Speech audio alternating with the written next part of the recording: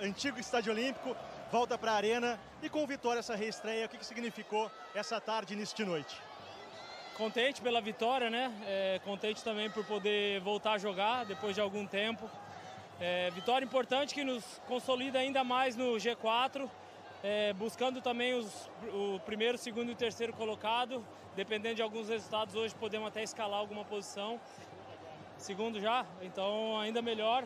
É, agora é continuar trabalhando, ganhando entrosamento com os companheiros, entendendo também o modo de jogar do Roger. É, e dar tudo que eu tenho. Eu vim com esse objetivo, tô, aos poucos estou entendendo também, principalmente, é, os movimentos né, que, que são diferentes e tenho certeza que, que com o passar dos jogos a gente vai ainda melhorar ainda mais nas atuações. São diversas faixas e cartazes te dando as boas-vindas aqui, essa torcida que te acompanhou sempre e agora também aqui na Arena.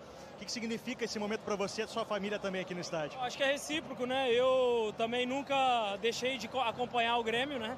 É, e agora poder reencontrar toda essa torcida, primeira vez jogando na Arena, está sendo muito satisfatório.